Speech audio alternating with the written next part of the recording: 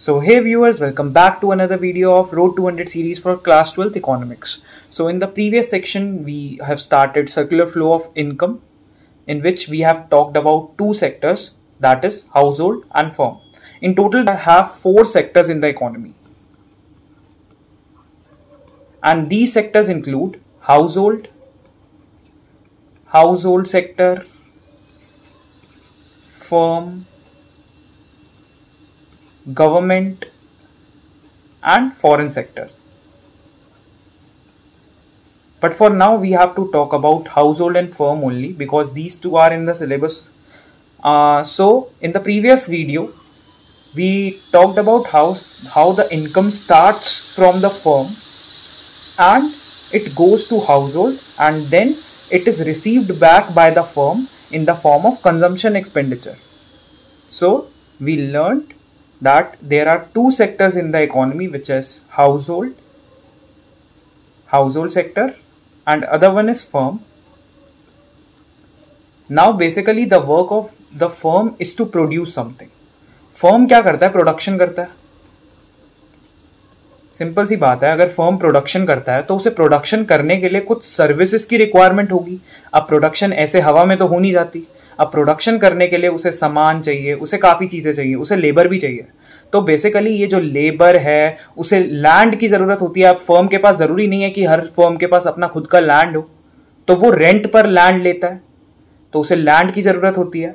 अब उसे इन्वेस्टमेंट की भी ज़रूरत होती है। वो इन्वेस्टमेंट बेसिकली उसको हम बोलते हैं कैपिटल और उसे एक बिज़नेस संभालने वाले की भी ज़रूरत होती है, जिसको हम बोलते हैं entrepreneur so basically household firm को ये सारी सर्विसेज़ प्रोवाइड करता है, जिनको हम बोलते हैं factor services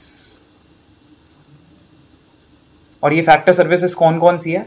Land labour capital and entrepreneur so in return अब फर्म को अगर सर्विसेज़ मिल रही है तो फर्म को भी तो कुछ देना पड़ेगा ना उन्हें। फर्म को उन्हें पैसा देना पड़ेगा। वो लोग पैसे के लिए काम कर रहे हैं तो फर्म उन्हें पैसा देगा। लैंड को वो रेंट देगा। लेबर को वो वेजेस देगा कैपिटल को वो इंटरेस्ट देगा और इंटरप्रेन्योरशिप को वो प्रॉफिट देगा मतलब बिजनेसमैन को वो प्रॉफिट देगा। अब फैक्टर सर्विसेज़ हो गई। फैक्टर सर्विसेज़ के बदले उन्हें कुछ पैसा मिल रहा है तो उस पैसे को हम बोलते हैं फैक्टर पेमेंट फैक्टर पेमेंट तो फर्म उनको फैक्टर पेमेंट्स देता है। अब ये जो फैक्टर पेमेंट्स हाउस होल्ड को रिसीव होती हैं हाउस होल्ड इन फैक्टर पेमेंट को यूज़ कर देता है सारा का सारा कंजम्पशन एक्सपेंडिचर में। We talked about an assumption which is there are no savings in the economy तो पूरा का पूरा कंजम्पशन एक्सपेंडिचर में खर्च कर देगा हाउस होल्ड और अगर कंजम्पशन एक्सपेंडिचर में हाउस होल्ड खर्च कर रहा है तो फर्म को उन्हें क्या देना पड़ेगा? गुड्स एंड सर्विसेज़ जो उन्होंने प्रोड्यूस करी इन द प्रोडक्शन फ़ेज़ अभी मैं इस फ़ेज़ के बारे में भी बात करूँगा। गुड्स एंड सर्विसेज़ तो अगर हम ये सर्कुलर फ्लो ऑफ़ इनकम की एक शॉर्ट डेफिनेशन की बात करें तो इसकी डेफिनेशन जो बनेगी, वो होगी production basically the generation generation of income income by the firm in the production phase so generation of income in the production phase production phase जहाँ पर ये बेसिकली प्रोडक्शन फ़ेज़ वो है, जहाँ पर फैक्टर सर्विसेज़ हाउस होल्ड ने firm को provide करी। फर्म ने उस फैक्टर सर्विसेज़ का सही तरीके से यूज़ करा, वहाँ पर उन्होंने इनकम जनरेट करी। वहाँ पर उन्होंने कुछ प्रोड्यूस करा, उस प्रोड्यूस को बेचकर उन्होंने कुछ इनकम जनरेट करी। अब यहाँ पर जनरेशन ऑफ़ इनकम हो गया। Generation of income in the production phase कोई चीज़ें उन्होंने बना ली बेचने के लिए। नाउ अब इसका होगा डिस्ट्रीब्यूशन ऑफ़ इनकम मतलब जनरेशन ऑफ़ इनकम तो हो गया। अब उन फैक्टर सर्विसेज़ ने प्रोडक्शन कर दी। अब आता है distribution of income distribution of income distribution of income distribution of income basically होता है among the factors of production among among factors of production अब क्योंकि फैक्टर्स क्योंकि हमारे फैक्टर्स ऑफ़ प्रोडक्शन ने हमें कुछ फैक्टर सर्विसेज़ प्रोवाइड करी, उनको भी तो पैसा चाहिए। तो उनमें वो इनकम का डिस्ट्रीब्यूशन हो जाता है और लास्ट में हमारा आता है डिस्पोजिशन फेस डिस्पोजिशन फ़ेज़ अब ये डिस्पोजिशन फ़ेज़ में क्या होता है? ये जो इनकम हाउस होल्ड के पास आ जाती है, वो उसे कंजम्पशन एक्सपेंडिचर में खर्च कर देते हैं। So basically disposition phase is all about consumption expenditure basically जो भी इनकम वो कमाएँगे, सारा का सारा वो इनकम कंजम्पशन में यूज़ कर लेंगे. There are no savings in the economy ये अजम्पशन की बात हम स्टार्टिंग से कर रहे हैं. बेसिकली अगर in short I need to tell you about these three phases so we talked about three phases पहला कौन सा था? जनरेशन फेस जनरेशन फेस सबसे पहला फेस ये हमारा फ़र्स्ट फ़ेज़ है जनरेशन फ़ेज़ जिसको हम प्रोडक्शन फ़ेज़ भी बोल सकते हैं, जहाँ पर प्रोडक्शन होती है। प्रोडक्शन फ़ेज़ इसके बाद आता है हमारा डिस्ट्रीब्यूशन फ़ेज़ डिस्ट्रीब्यूशन फ़ेज़ और इस डिस्ट्रीब्यूशन फ़ेज़ में हमारा जो प्रोडक्शन होता है प्रोडक्शन के लिए उन्हें पैसे दिए जाते हैं। बेसिकली फैक्टर सर्विसेज़ को प्रोडक्शन करने के लिए पैसे दिए जाते हैं। तो इसलिए हम डिस्ट्रीब्यूशन फ़ेज़ बोलते हैं। यहाँ पर distribution of income among factors of production हो जाता है। जो फैक्टर्स ऑफ़ प्रोडक्शन होते हैं factors of production gets get factor income factor income इनको फैक्टर इनकम के रूप में पैसा मिल जाता है। और लास्ट फ़ेज़ होता है हमारा disposition phase disposition phase it is all about consumption expenditure जो कि हाउस जो पैसा हाउस होल्ड के पास आता है, वो सारा का सारा कंजम्पशन एक्सपेंडिचर में खर्च हो जाता है। सारा का सारा कंज्यूम हो जाता है। So these are the three phases in the economy now let us take this a bit further अब सर्कुलर फ्लो में हम एक और छोटे से टॉपिक के बारे में बात करेंगे which is stock and flow stock and flow so basically these are two types of concept अगर हम स्टॉक कॉन्सेप्ट की बात करें स्टॉक कॉन्सेप्ट बेसिकली होता क्या है? It is measured it is a quantity which is measured at a particular point of time it is measured at a particular point of time, point of time. जरा इसके example की बात करते हैं। अब पर्टिकुलर पॉइंट ऑफ़ टाइम का basically मतलब क्या है? अगर मैं बोल रहा हूँ population of India as on population of India as on thirty first March 2022 मतलब मैंने एक डेट स्पेसिफाई कर दी। इस डेट पर मेरे को इंडिया की पॉपुलेशन बता दो। इस डेट पर मेरे को पॉपुलेशन बता दो।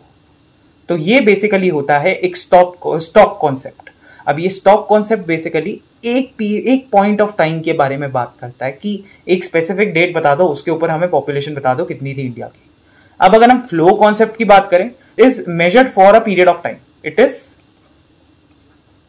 measured over a period of time. Over a